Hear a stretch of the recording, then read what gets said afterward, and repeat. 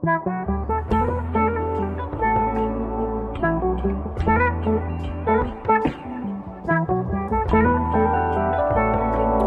y'all, what's up? So I just finished my gratitude journaling for the night. By the way, welcome to the vloggity vlog because this is gonna be this is is this this is going to be a vlog. So as you can see by my hair, I had done a hot oil treatment like three hours ago. It is now I can't even tell the time because I don't have my glasses on, but it is 12:28 midnight and yeah i pretty much just decided to like kick back and relax for the rest of the night.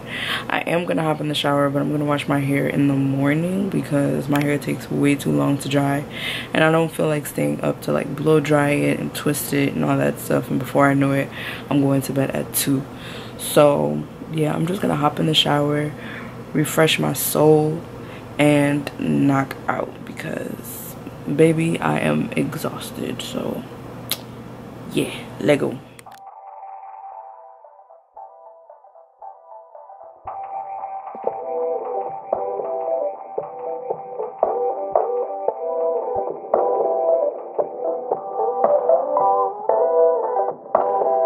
Good afternoon folks. Oh my gosh. Whew, let me tell you I slept dang i look ashy i have to do my skincare but i slept like a goddess. Right now it is currently 12:31 p.m um and i'm getting ready to step out. I just have like a couple errands like my usual wednesday errands that i have to run. And then i'm gonna come home.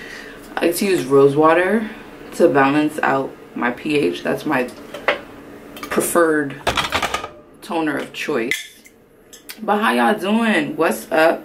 It is wednesday january 18th so it is my day off where i just pretty much get to catch up with myself and do the things that i want to do around the house record obviously and just like honestly catch up with myself because as far as like my personal work it does take up a huge chunk of my time. So i'm really just trying to focus on filming more and editing more and just tapping into what I love to do because I do really enjoy making videos for you guys. For me, my favorite part is when I get to edit and see all of this play back and really turn it into a storyline for y'all. So I'm very, very, very, very, very excited. Speaking of stories, story time. so if i'm totally honest i will be sharing more with you all in the sense of like just how i view certain scenarios like daily scenarios that may take place. So if i think something is worth sharing i will share it with you guys. So this occurred yesterday right? And this obviously happened in my personal line of work. So baby you know sometimes you just gotta watch people and just let them say what they say. But you also gotta nip it in the butt if it don't sit right with you and you just know it, it don't it's ignorant right so there was a video that i came across on tiktok that i actually shared with my fellow black girls at work and it was a very very very very interesting video that I actually shared on my Instagram as well because I just thought it was really important. So this is a life coach and I'm going to look for the video now. I originally found it over on Twitter, found out it was posted on TikTok and I went ahead and I found the video and I reposted it because it was it was very significant. You know, it's at the end of the day it's a take on the black experience and what women experience, black women specifically and how we um express our anxiety and how we deal with our anxiety. So if you want to check out the video for yourself, it's by Nikki Valentine. I hope you guys can see that. But it's Nikki Valentine on TikTok and the topic is anxiety shows up as irritation in black women. And she just drops a whole bunch of gems on how majority of the time when black women when we become overwhelmed it then turns into irritation because we're always expected to have the answers to know what to do to just be able to solve everything and so many scenarios popped up in my head of how I've seen my mother handle things when she's anxious and overwhelmed, how I've seen my sister handle things. And so a lot of the times it is translated into irritability, which then turns into frustration, which then turns into anger. But the only thing that is taken away from that moment is the fact that we are angry, when in reality, we are just overwhelmed, anxious, and it shows up as irritability. So it's a very interesting video. And if you guys want to check it out, please do because it really just highlights a lot of what your girl and many other black women black women I'm sure have experienced in their lifetime. So I was showing my fellow black girls because I'm like, this is a gem.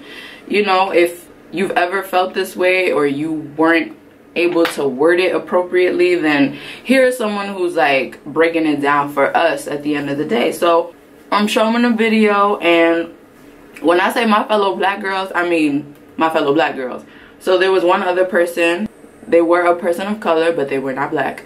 They're both watching the video. We're both taking it in. Like we're all taking it in. i had already watched the video so i had already received what i felt was was necessary to myself. And then my other fellow black girl actually touched her so much that she got emotional about it. And i was like okay you know obviously more people need to hear this more people need this and so it was it was just a really touching moment so the other person in the room who was watching it they did this thing that I personally dislike people to do. and this is where the story, I was just like, I was like, mm, no. See, I'm not going to let you get away with that. As the video progresses, as the points are being made, you know, my other fellow black girls getting emotional is really hitting her in the feels because, you know, she's obviously coming to a realization like whoa this is how certain things have shown up in my life or this is why I've reacted the way that I've reacted.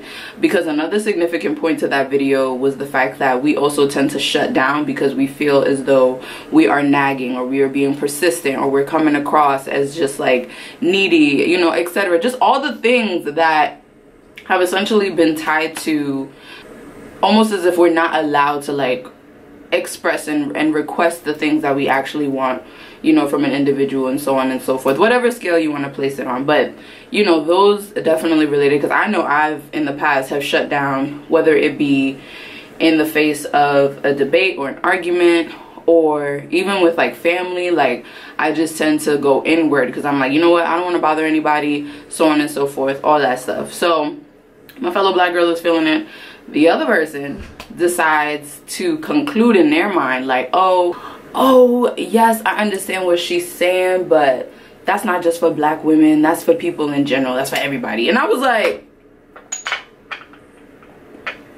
the way i stopped and i was like i was just like um it's not for everybody because as you can tell by the title, this is how it shows up in black women. And I pointed to the title because I was like, you can't generalize this topic when it's coming from a black woman. She's directing the topic to black women and she's showcasing her experience of what she's come across through therapy and as a coach herself. And she's letting fellow black women know how anxiety shows up in them. So the fact that this person decided to like undermine and generalize the topic and make it something that everybody could relate to yes i'm sure a lot of people have dealt with anxious thoughts um anxiety as a whole you know so many topics but everybody deals with it differently. So the fact that this is being highlighted for black women and the topic is how anxiety shows up in black women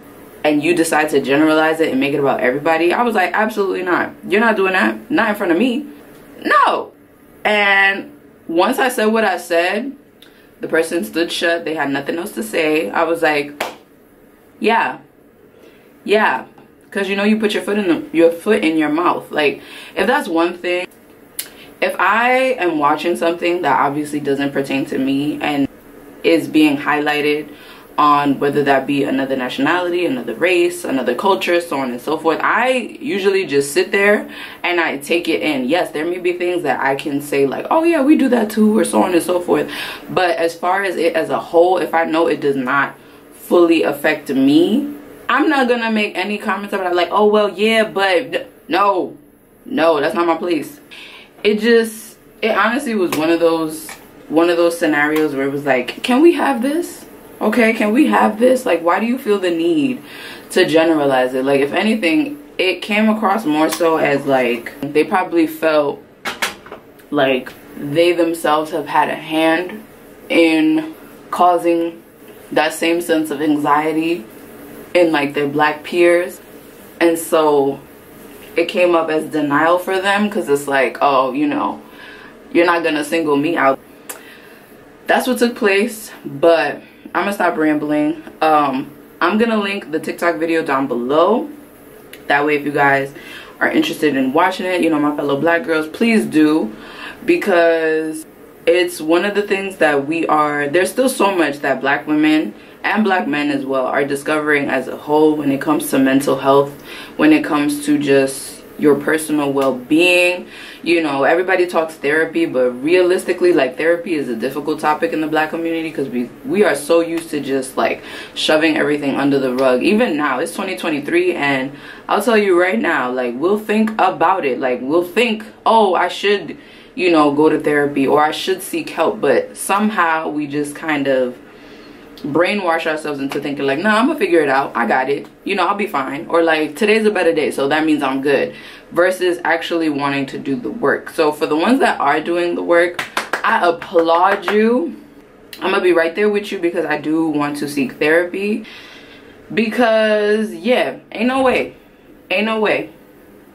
We just trying to heal grow become better individuals on a daily. And if that's one thing like the day of tomorrow that i do decide to have my children and get married and all that good stuff i don't want to be in that that space of my life where i can't enjoy it as much because i'm still over here dwelling on the past. So that's an absolute no-no for me. But yeah that's my little story time. That's my little spiel. I'm gonna go ahead and finish getting ready for the day because i really do have to get going. It's about to be one o'clock yeah it's 15 minutes to one so i'm gonna go ahead and head out and i'm gonna catch up with y'all later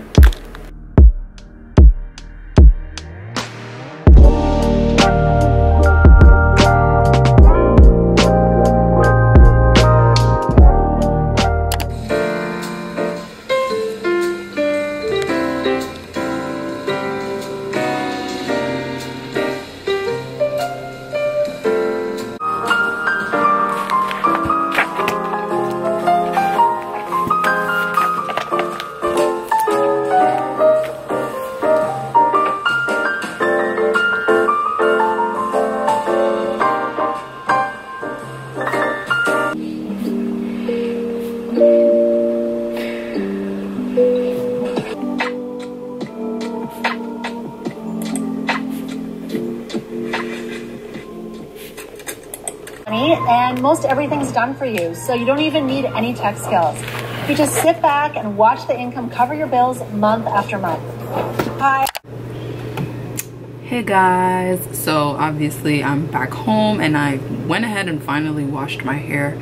I just got done with my gratitude journaling for the night because Lord knows that I needed to like brain dump and just be thankful for the good steps that I took in today and just enjoying my Wednesday overall. It's 8.56 and I've just been chilling and I watched Munchi's vlog. She along with Sundai Love, Zoe, um, and there's a couple others i'm gonna create a list oh Rayna Tova i'm gonna create a list of just kind of all of my favorite calm youtubers to watch like i really enjoy watching vlogs that feel like daily vlogs but come across as like a movie if it makes sense and so munchi's really really good at that like the way she films her shots and the way she just presents her storyline is really really dope zoe i absolutely love. She's one of the newer YouTubers I've come across. Sundai Love, of course, top tier. She has my heart.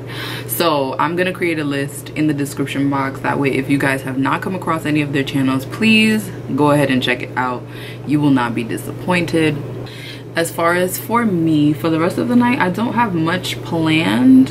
Um, I'm probably to make, I'll probably make myself a cup of tea with a snack and potentially do some light reading whenever i want something quick to read before bed I usually pick this one up, which is Self-Care for Black Women by Oludara Adeeyo. And funny enough, I just got to the soul portion of the book because it's really just a book that I pick up to, you know, gain some gentle reminders from. And then as far as a book that I'm actually reading, it's Dawn by Octavia Butler because I am very much a sucker for science fiction and she is currently one of my favorite science fiction authors. So yeah i'm also waiting for the third installment of tomi adeyemi's children of blood and bone book to be released. I believe it's going to be released summer of this year. So yeah. In the meantime if you guys have any recommendations as far as books to check out please let me know. I've been hearing a lot about this one book called nightcrawler so i think i want to read that when i'm done with this. But i know that this is also if i'm not mistaken a trilogy or just a series as a whole. I like it so far like i've actually been reading it not as consistent consistently as i would like but i have been reading it. So it's a great book to read while i'm on my way to do what i need to do.